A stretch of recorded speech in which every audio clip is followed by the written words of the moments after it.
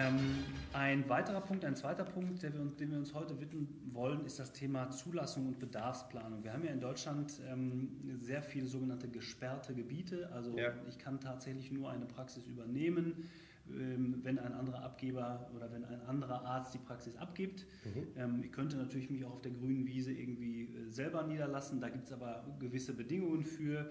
Ähm, wollen wir da zwei Sätze zu, zu sagen? Ähm, wie geht das vonstatten und wie ist, ist das Recht, das Standesrechts KV-Recht aus Ihrer, aus Ihrer Sicht? Ähm, für unsere Mandanten leider immer komplizierter. Mhm. Für uns Juristen wirklich mittlerweile ein spannendes Beratungsfeld, das kann man nicht anders sagen, weil das Nachbesetzungsverfahren allein, ähm, oder das Zulassungsrecht in den letzten Jahren immer komplexer geworden ist. Wir haben äh, früher es ähm, relativ leicht gehabt, äh, Übernehmer und ähm, Abgeber auch zulassungstechnisch unter einen Hut zu bringen. Mhm. Heutzutage ist das viel schwieriger. Wir haben auch viel längere Zeiträume, die wir dafür einplanen.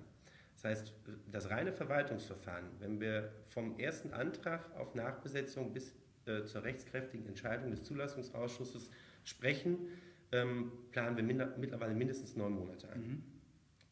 Und Darf ich nochmal da rein? Neun Monate alleine dafür, dass wir eine rechtssichere Übernahme gewährleisten können. Also das ist nur das Antragsverfahren, das ist nur, nur das, das reine Verwaltungsverfahren, das mittlerweile aus mehreren Anträgen besteht. Ich muss erstmal beantragen, ob meine Zulassung überhaupt ausgeschrieben wird. Mhm. Das heißt, es gibt ein Vorprüfungsverfahren, wo mhm. der Zulassungsausschuss prüft, hat die Praxis genügend Scheine, mhm. um nachbesetzt zu werden, Punkt 1. Und Punkt 2, befindet sie sich eventuell in einem überversorgten Gebiet, das so stark überversorgt ist, mhm. dass wir besser diesen Praxissitz äh, einziehen. Das passiert Gott sei Dank in der Praxis noch nicht allzu häufig. Kann in Zukunft aber noch ein Thema sein, das uns zusätzlich beschäftigen wird. Mhm. Dann, wenn also über die Nachbesetzung entschlossen wurde, dann wird ausgeschrieben, mindestens einen Monat.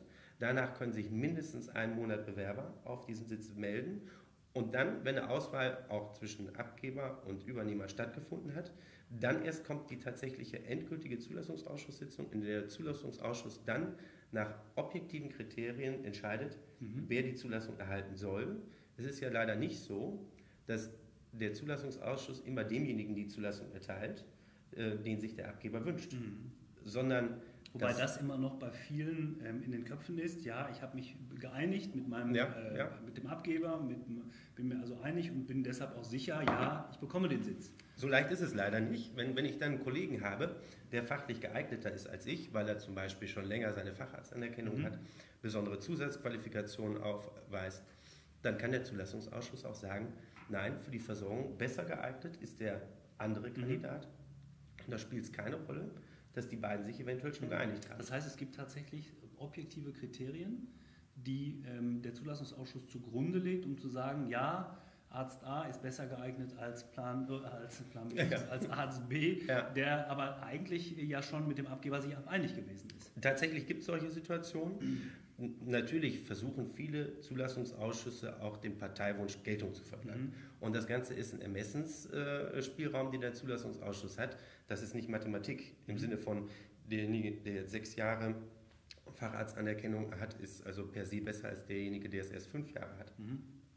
Nichtsdestotrotz müssen wir darauf achten und deswegen kann sich so eine Planungszeit für eine Nachbesetzung auf bis zu drei Jahren verlängern, mhm. weil wir sagen, was können wir denn tun, damit wir gar nicht erst in die, in die Bredouille kommen, dass der Zulassungsausschuss eine Auswahlentscheidung treffen muss, die auch zu unseren Lasten mhm. ausgehen könnte.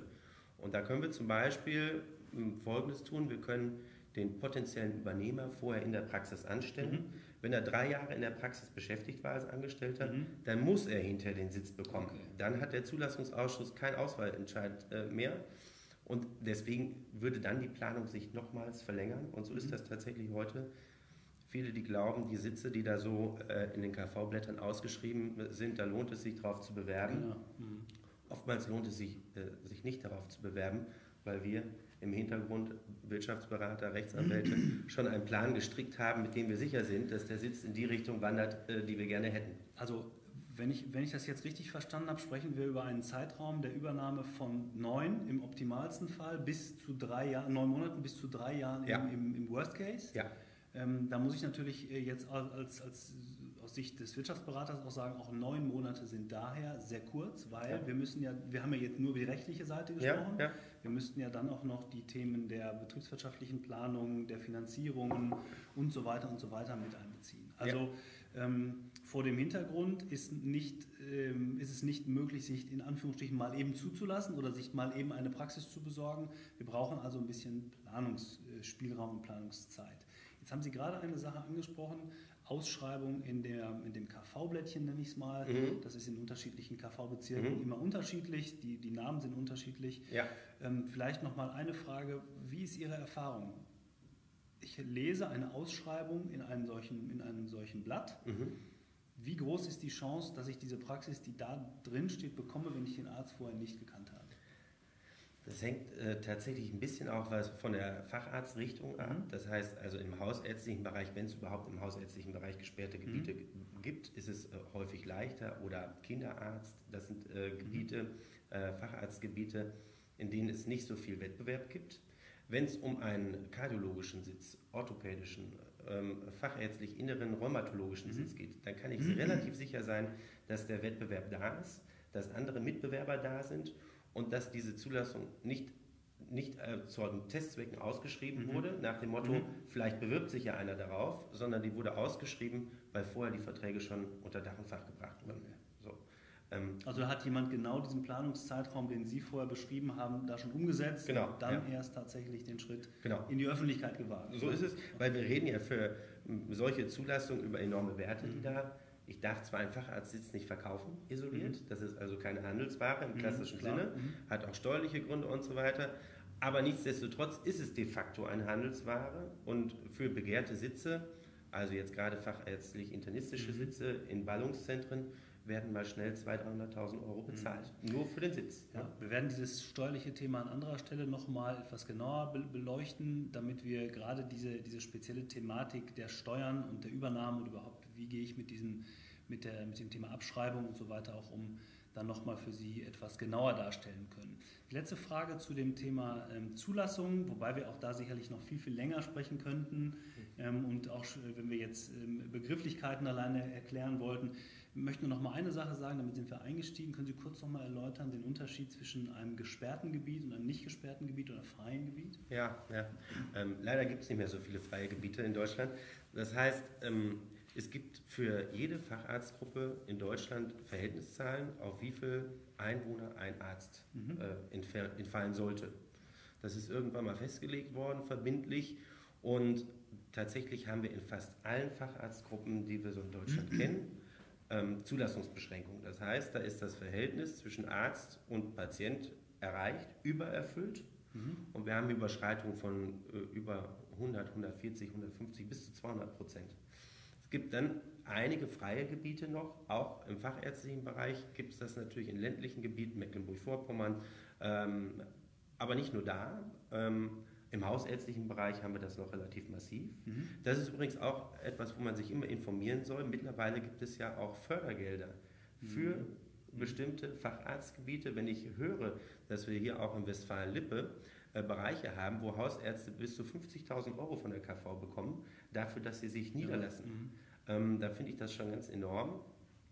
Und das liegt halt einfach daran, dass wir eine wahnsinnige Überversorgung in vielen Ballungszentren mhm. haben, in einzelnen Facharztgebieten und umgekehrt in anderen kinderärztliche Versorgung, ähm, hausärztliche Versorgung, da eine Unterversorgung haben und mhm. da auch keine Nachfolger finden. Wie wäre das, wenn ich mich jetzt rein privatärztlich niederlassen möchte? Das ist äh, kein Problem, mhm. zumindest mhm. im zulassungstechnischen Sinne kein Problem. Da muss ich dann die Patienten finden, mhm. dass es betriebswirtschaftlich sich rechnet. Ähm, das ist ja nicht so häufig der Fall. Aber dann habe ich diese ganze Thematik, die wir jetzt erörtert haben, nicht. Mhm. Das zeige ich bei der Kammer an. Das geht relativ unbürokratisch und einfach. Okay. Und dann könnte ich als Privatarzt loslegen.